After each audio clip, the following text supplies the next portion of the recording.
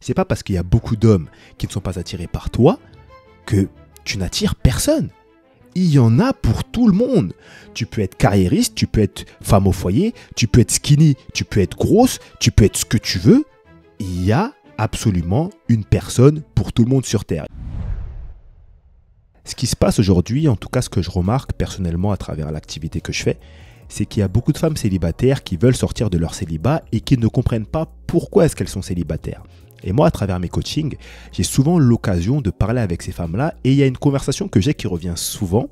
Il y a souvent des femmes qui me disent Des, regarde, je suis célibataire, pourtant je ne comprends pas pourquoi, regarde comment est-ce que je suis.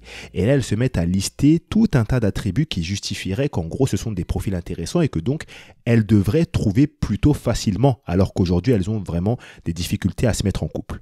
Et ce qui se passe, c'est que très souvent, ces femmes oublient de se poser une question qui est vraiment la question la plus importante qui leur permettrait de comprendre pourquoi est-ce qu'elles ont du mal à sortir de leur célibat. Et c'est de ça dont on va parler aujourd'hui. Avant de rentrer dans le vif du sujet, Bienvenue dans un nouvel épisode du podcast Relations Imparfaites, le podcast qui nous aide à améliorer nos relations. Je suis super content de t'accueillir aujourd'hui. Tu peux nous retrouver au format vidéo sur YouTube et sur Spotify et au format audio sur toutes les plateformes de podcast. Donc je t'invite à t'abonner si ce n'est pas encore fait.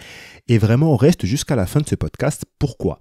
Parce qu'après t'avoir révélé quelles sont les choses que les hommes regardent en premier chez une femme, j'ai un message à te faire passer. C'est pas un coup de gueule, c'est pas un message d'énervement, mais c'est un constat que je fais moi en tant qu'homme personnellement et je pense que ce message doit vraiment être entendu par le plus de personnes possible. Donc nous, on démarre tout de suite. La première chose que les hommes vont regarder chez une femme de manière générale, c'est le physique. Ça, c'est quelque chose qu'on ne peut pas nier. Les hommes sont plus sensibles au physique que les femmes.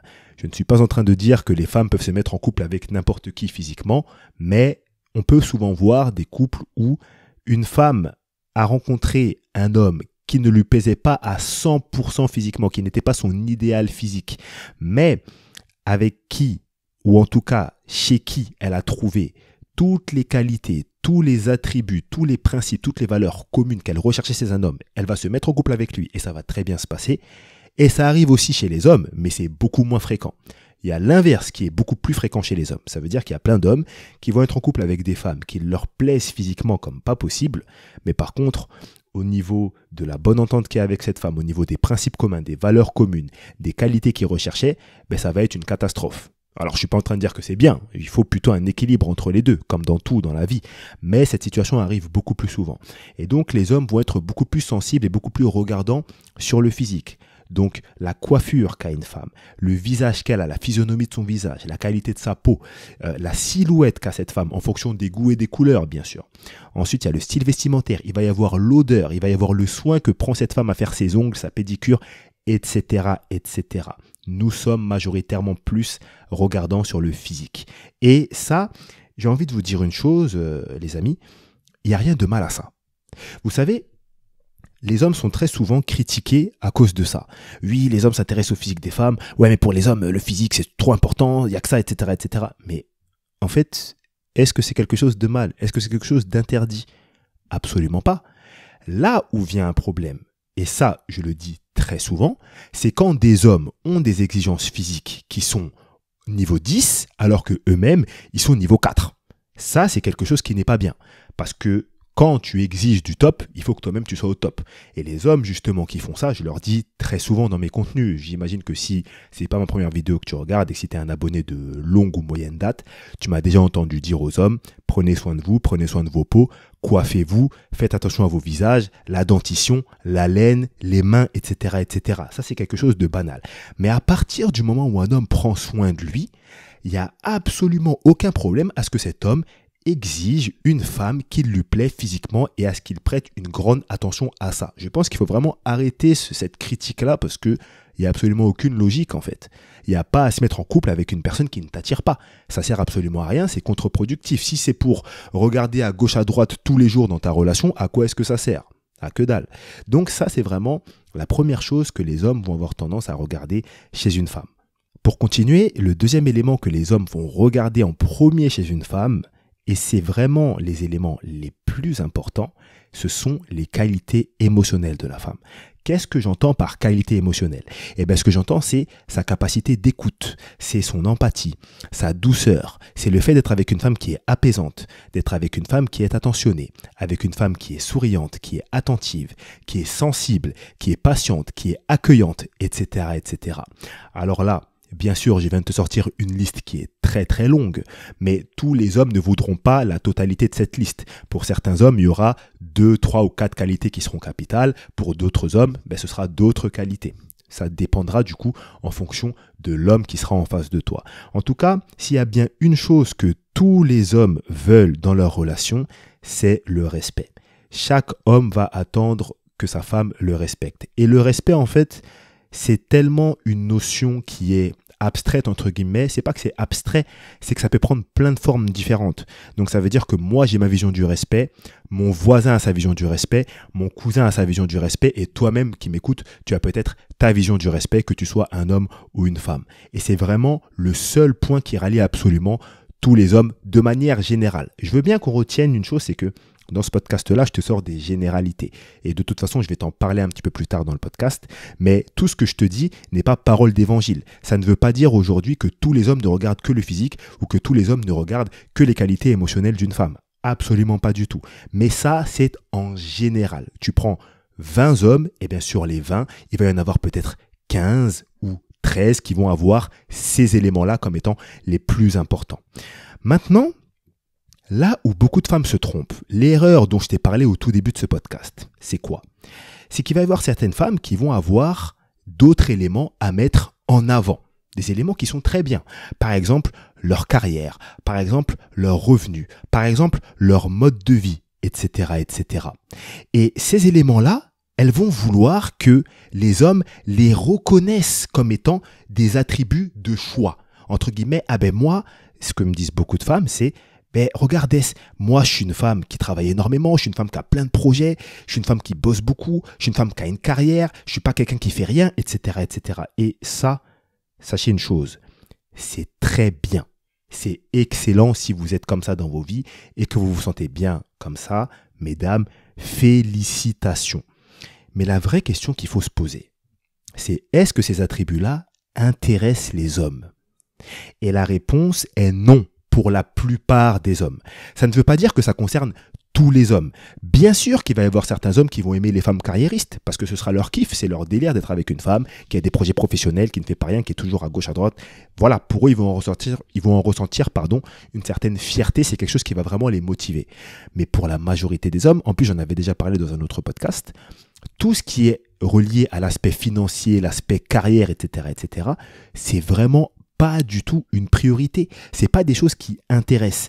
Maintenant, est-ce que ça veut dire que toi, si tu es une femme qui m'écoute et que tu es quelqu'un de carriériste, tu es quelqu'un qui a des projets partout à gauche, à droite, tu es quelqu'un pour qui euh, le développement financier est quelque chose d'extrêmement important, est-ce que ça veut dire que tu dois arrêter parce que ça n'intéresse pas les hommes qui t'attirent, ou en tout cas les hommes que toi, par lesquels tu es attiré, pardon? Absolument pas. Ça ne veut pas dire ça du tout. Tu fais ce que tu veux si ta carrière est importante pour toi, continue ta carrière, poursuis-la. Mais sache que c'est quelque chose que tu fais pour toi et que tu ne peux pas venir devant une personne qui n'est pas intéressée par ces attributs-là et lui dire Ben regarde, moi j'ai ça à mettre sur la table. Parce que peut-être que cette personne n'est pas intéressée par cet attribut. Tout simplement. Il y a des hommes qui peut-être, je sais pas, sont forts au foot. Voilà. Ils vont pas venir devant une femme et dire Eh ben tu sais, moi je suis fort au foot.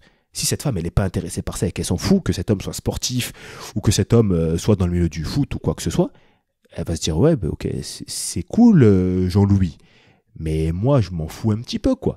Ça ne m'intéresse pas particulièrement. Et c'est quelque chose de normal, il faut être ok avec ça. On fait les choses pour soi.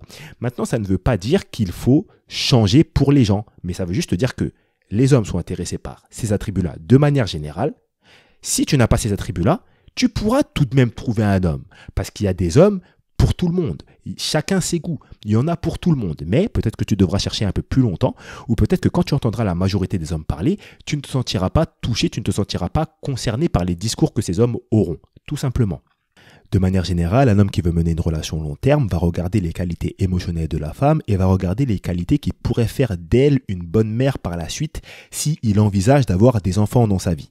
Et une femme qui a ces attributs-là aura beaucoup plus de chances de trouver un homme qu'une femme qui n'a pas ces attributs, mais qui a un revenu financier, un statut financier, une carrière extraordinaire. Et il n'y a pas de problème avec ça. Voilà, c'est juste quelque chose qui est comme ça, faut l'accepter et puis c'est tout, tout simplement. Au début du podcast, je t'avais prévenu qu'il fallait que je fasse passer un message qui est très important et je vais le faire là maintenant tout de suite. Mais juste avant ça, ce que je t'invite à faire, c'est à me laisser une review sur le podcast ou un commentaire. Si tu es sur YouTube, n'hésite pas à me donner ton avis sur l'épisode en commentaire juste en dessous. Si tu es sur Apple Podcast, n'hésite pas à me mettre les 5 étoiles. Si tu es sur Spotify aussi, tu peux mettre une review sur Apple Podcast en me disant ce que tu en penses. Et n'hésite pas à prendre une capture d'écran du podcast, à la partager sur Instagram en story, me taguer dessus et je viendrai te remercier directement, ça me ferait extrêmement plaisir. Moi, il y a vraiment quelque chose que je voudrais préciser aujourd'hui et qui est très important. Les hommes ont le droit d'avoir des critères et que ces critères soient acceptés sans critique, sans jugement. Les hommes ont le droit de vouloir être en couple avec un profil physique sans être targué de grossophobes.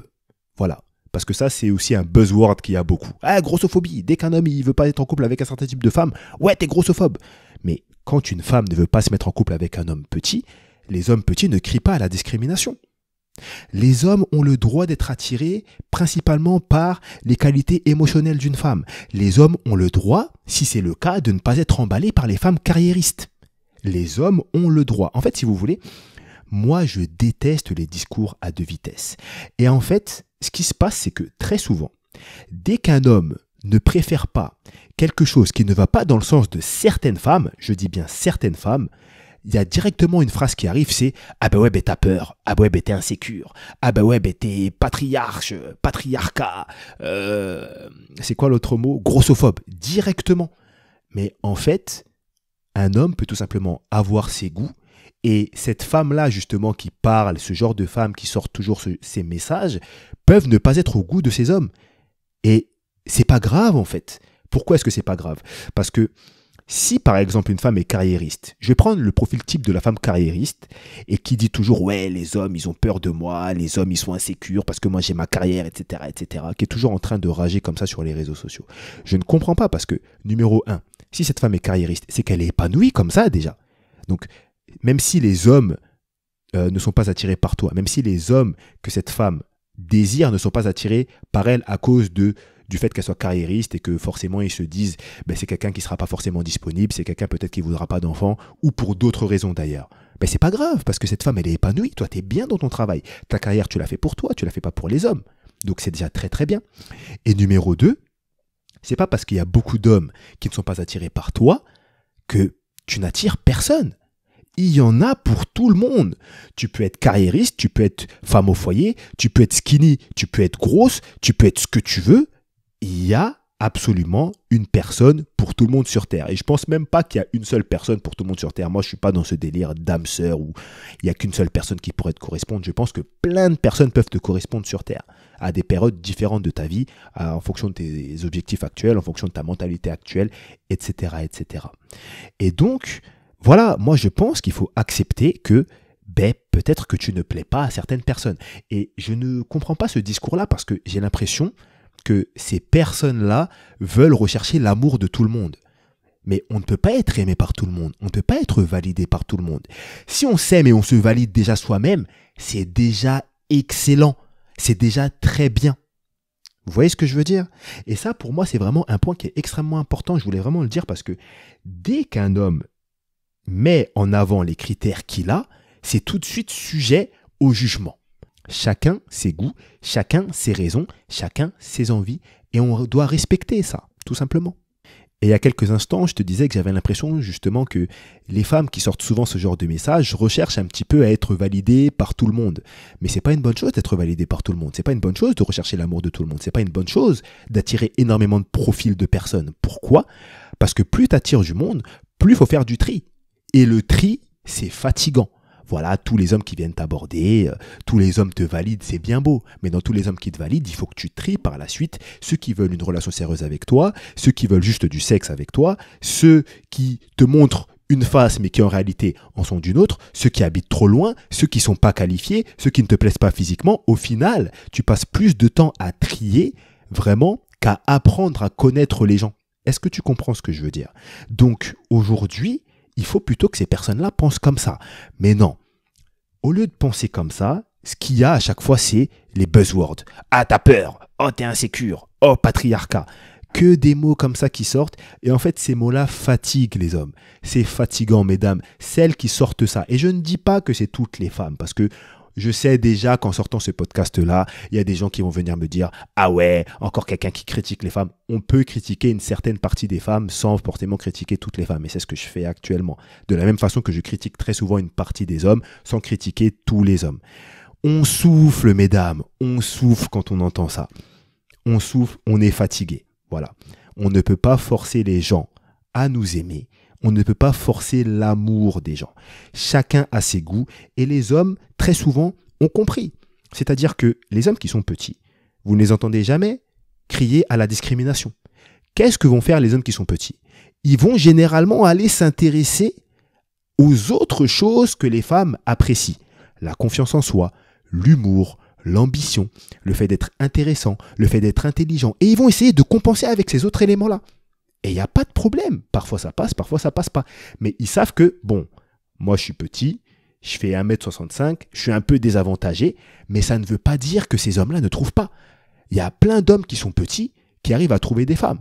Et tous les hommes petits qui ne trouvent pas et qui sont toujours en train de dire ouais mais moi c'est parce que je suis petit, ouais mais moi c'est parce que je suis petit, c'est parce qu'ils essayent de se rassurer entre guillemets en disant ouais ben c'est à cause de ça que je ne trouve pas. En gros, de toute manière, l'être humain fait toujours ça. Le responsable, c'est jamais nous c'est à cause d'un élément extérieur. Voilà, c'est jamais à cause de mon manque d'action, c'est parce que je suis petit. Donc vu que je suis petit, les femmes ne sont pas intéressées par moi, donc c'est pas de ma faute, c'est à cause de ma taille. Non, moi je connais plein d'hommes petits qui étaient des serial killers à l'époque. Tout ça pour vous dire qu'aujourd'hui absolument tout le monde peut trouver chaussures à son pied. Voilà.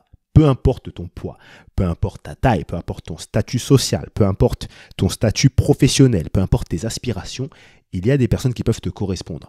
À toi de t'intéresser à ce que recherchent les personnes du sexe opposé, donc en l'occurrence les hommes pour ce podcast, et de trouver un homme justement qui va matcher avec la personne que tu es. Et ce n'est pas parce que tu n'attires pas une majorité d'hommes que tu n'attires absolument aucun homme. Ça, je le dis absolument tout le temps. Maintenant, je me répète, tout ce que j'ai dit aujourd'hui sont des généralités. Et surtout, si tu te sens bien comme tu es, ne change absolument rien. Ne change pas pour quelqu'un, ne change pas pour plaire à la majorité, ne change pas pour plaire aux autres. Parce que de toute façon, le plus important, c'est de se plaire à soi. Et à chaque étape de ton changement, si tu le fais pour les autres, tu vas tomber sur un groupe de personnes qui ne t'appréciera pas. Voilà. Donc rechercher la validation extérieure, c'est très mauvais. Recherche ta validation et recherche une personne qui va être en adéquation avec la personne que tu es. C'est tout ce que je voulais te dire aujourd'hui. N'hésite pas à me donner ton avis sur le podcast. On peut se retrouver sur mon compte Instagram. Il s'affiche dans les liens qui sont juste en dessous. Moi, je te laisse là. Ça m'a fait extrêmement plaisir de passer ce petit moment dans tes oreilles. C'était Deska pour un épisode de Relations imparfaites. Je te souhaite une bonne journée ou une bonne soirée. Ça dépend à quelle heure tu as écouté ça. Salut à toi et à la prochaine.